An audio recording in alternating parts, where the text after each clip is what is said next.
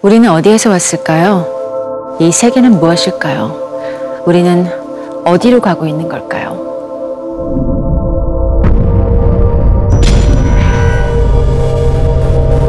이 모든 것의 기원.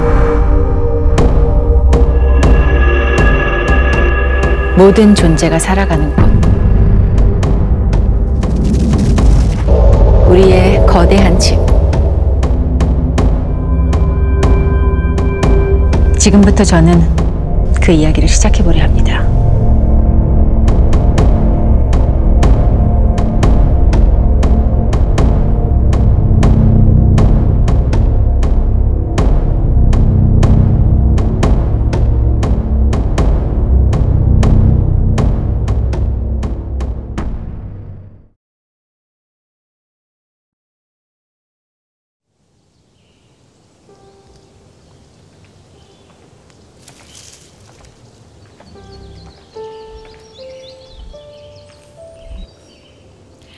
이 행성은 우리에게 아주 특별한 곳입니다. 멀리서 바라보면 티끌처럼 작고 창백한 푸른 점에 불과하지만 이 행성은 살아있는 모든 것의 터전이죠.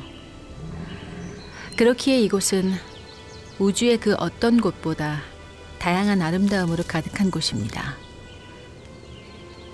우리의 고향, 지구입니다.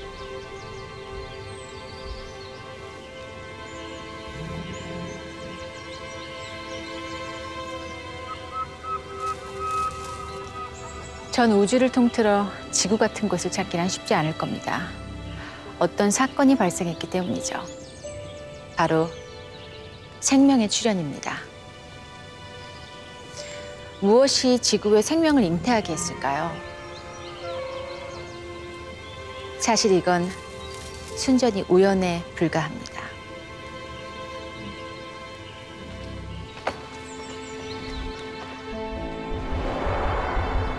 지금으로부터 45억 년 전, 지구의 모습은 지금과 많이 달랐죠.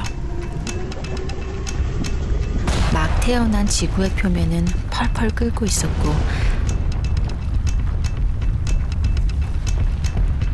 이산화탄소와 질소, 수증기만 가득했습니다. 어떠한 생명체도 살아갈 수 없는 지옥 같은 곳이었죠.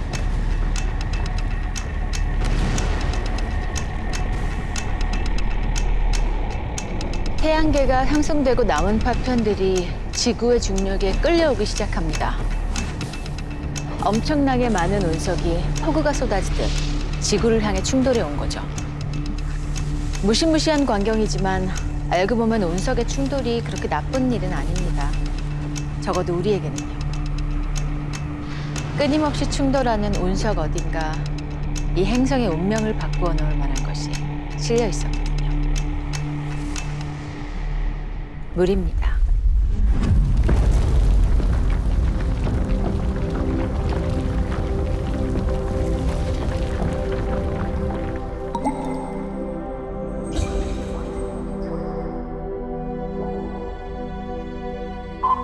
처음엔 그렇게 많은 양이 아니었을 겁니다.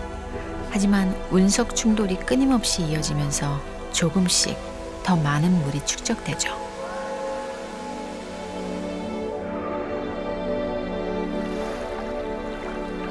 그렇게 2천만 년쯤 지나고 난 뒤 지구에는 마침내 바다가 탄생합니다. 태양계의 다른 행성에도 운석이 수없이 많이 충돌해 왔죠. 하지만 이렇게 바다가 만들어진 건 지구뿐입니다.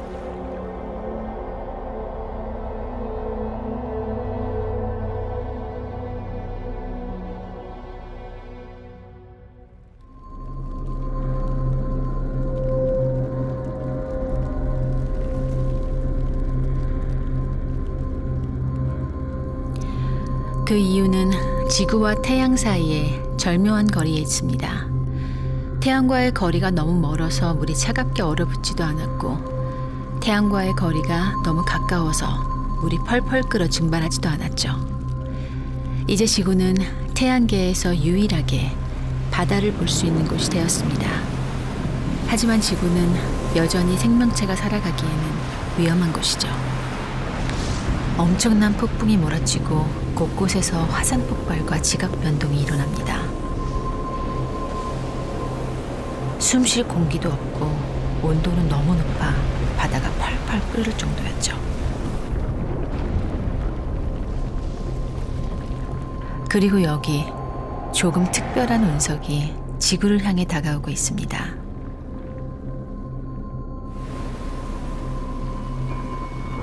이 운석에는 작은 씨앗이 실려 있죠. 그 씨앗은 지구의 바다 깊숙한 곳에 뿌려집니다. 유기화합물, 원시 단백질과 아미노산, 생명의 씨앗입니다. 운석이 실어온 씨앗 중 일부가 바닷속 독특한 곳에 자리를 잡게 되죠.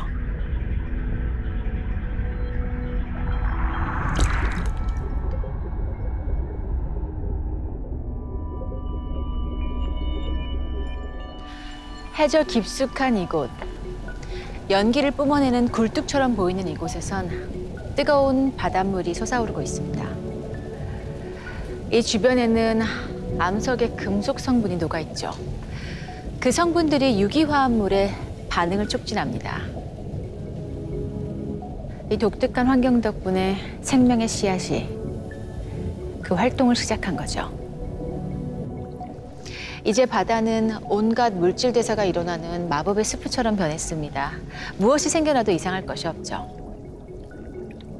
이렇게 수억 년이 흐른 어느 날, 이 마법의 숲 안에서 아주 놀라운 사건이 벌어집니다. 그 전까지와는 완전히 다른 새로운 무언가가 생겨나죠. 얇은 막 안에 물질 대사 기관을 숨긴 이것. 최초의 세포, 최초의 생명체가 탄생합니다. 이 기묘한 존재들은 계속 분열하며 스스로 숫자를 늘려가죠.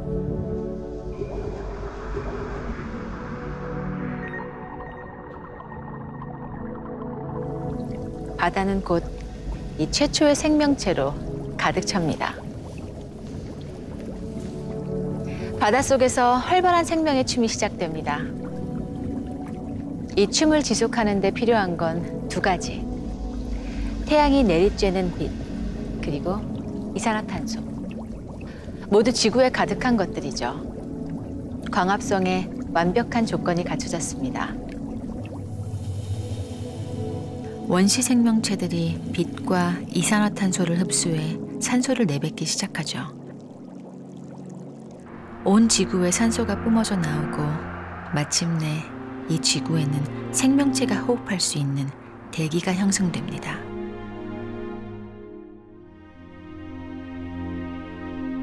이제 생명의 춤이 다음 장으로 넘어갈 차례죠.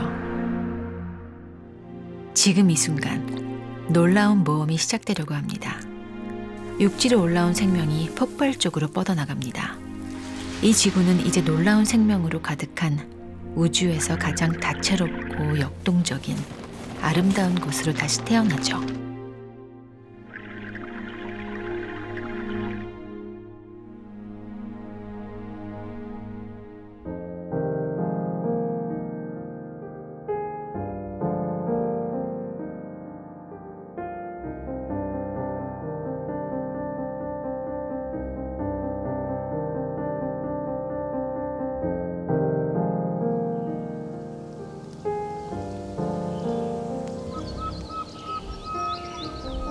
여러분과 저, 그 밖에 살아 숨쉬는 모든 것들은 이렇게 시작되었습니다.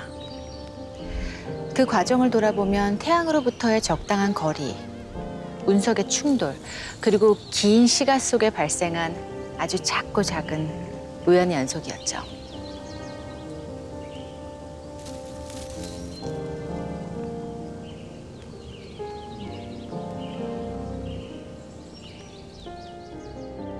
글쎄요. 정말 우연일까요?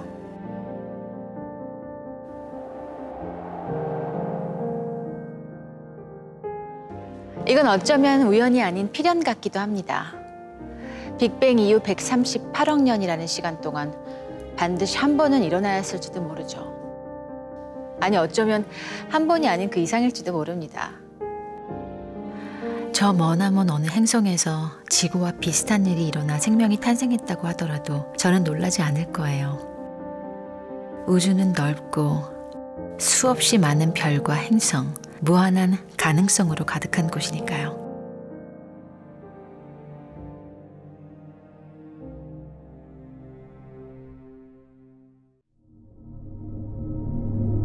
우리는 한때 이 지구가 우주의 중심인 줄만 알았습니다. 밤하늘에 반짝이는 모든 것이 이 지구를 중심으로 움직인다고 생각했죠. 밝게 빛나는 태양이 이 우주의 중심이라고 생각했던 때도 있습니다. 우리는 이 우주에 지구와 태양보다 더 거대한 존재들이 많다는 것을 알고 있죠. 아무리 큰 별이라 할지라도 그보다 훨씬 더 거대한 존재가 있죠. 우주는 도대체 얼마나 큰 것일까요?